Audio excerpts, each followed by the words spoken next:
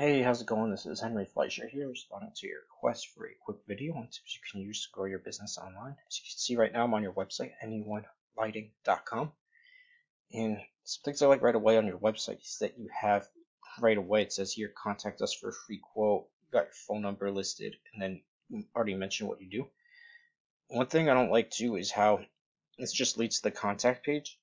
Anytime you have a website, you should always have a clickable phone number at the top left so they can contact you through a mobile device. And users' eyes always start on the left hand side of the page. And then when they make their way to the right, you want to have a contact form so they can reach you via email. And to give them more incentives to fill out the contact form, it should have something right above it that says like contact us for a free quote or a free estimate, like up here.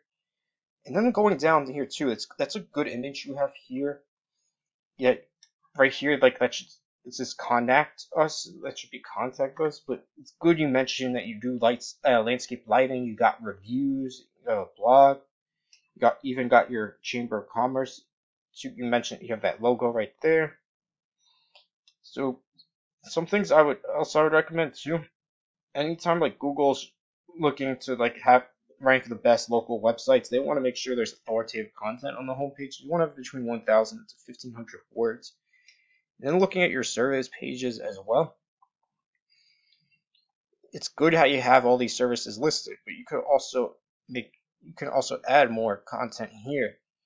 Like you can have each of these can have their own page. So I'm just going to show you what happens when you search for landscape lighting in Rocky River, Ohio.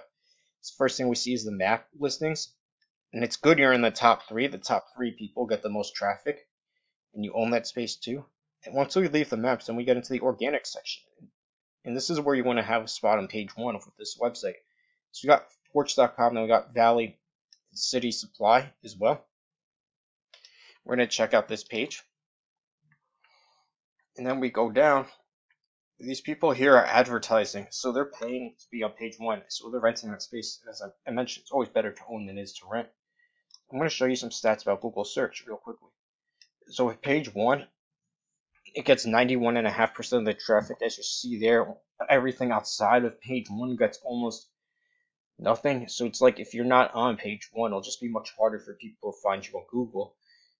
And 47% of the time, people conduct a Google search. It is for a local business service. So yeah, if you're not being on page one, could be could miss out on some business opportunities.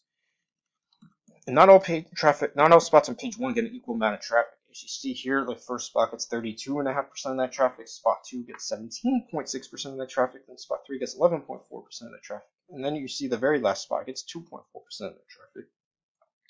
So it's really key to have one of those top three organic spots. It's already good you have a top three map listing, but if in addition, if you had that top three organic spot too to go along with it, you're going to be getting a lot more traffic coming to your website.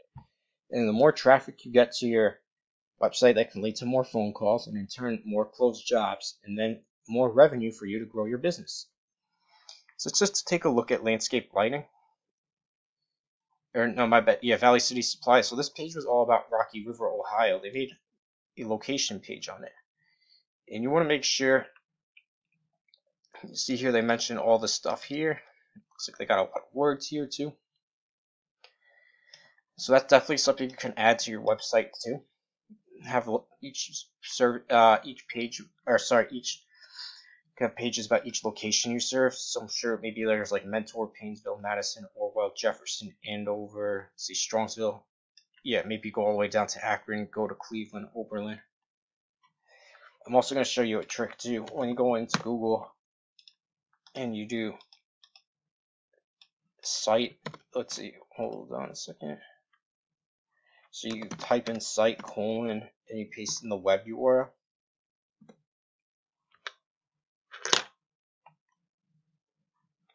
says you appear eight times throughout the search engine. Pretty good. Well, I'm going to just show you what Valley City does. And right here, I recommend adding some keywords to go along with this NE1 lighting at the top. So, okay, I'll show you Valley City.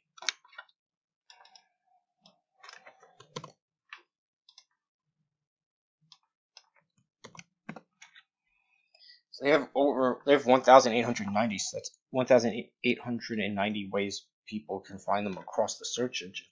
Google favors those websites with more pages, especially ones with valuable content. As you see here, when you type in Mike Tyson in Google search, the first result is Wikipedia. So Wikipedia has so much information on Tyson, like on, on everything on his life from so many different sources. Google sees that as such valuable information that they rank them to the top. So it's just like you can do that with the landscape lighting too, like even by adding more blog posts all about landscape and giving your thoughts and opinions and all the these facts. Like Google will see that you're a thought leader, and they'll move you up the rankings too for that.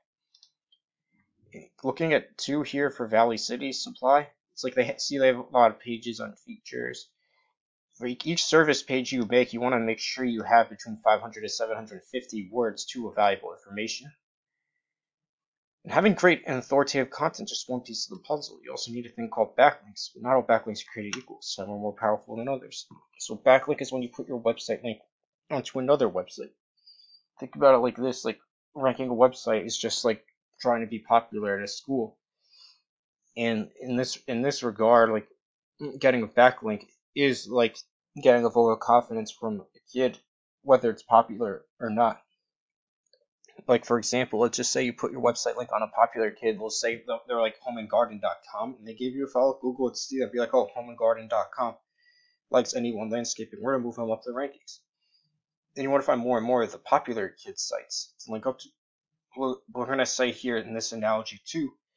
Let's say there's a new website or a new kid at the school named Joe's Lighting.com and they gave you a follow, Google would see it and be like, oh, a new kid is vouching for this guy. His opinion doesn't carry much weight. We're going to keep him ranked where he is in the popularity rankings.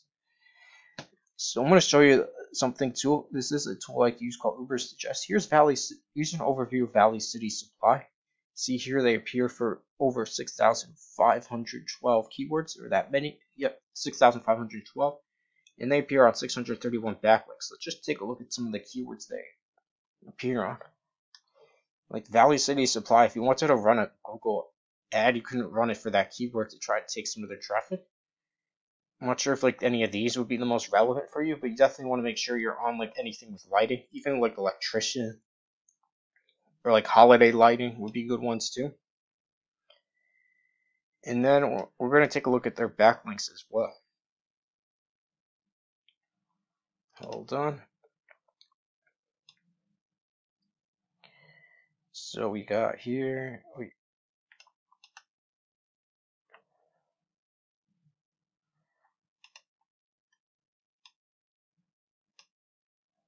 All right, something is, okay, here we go. So like improvenet.com, you could possibly do that.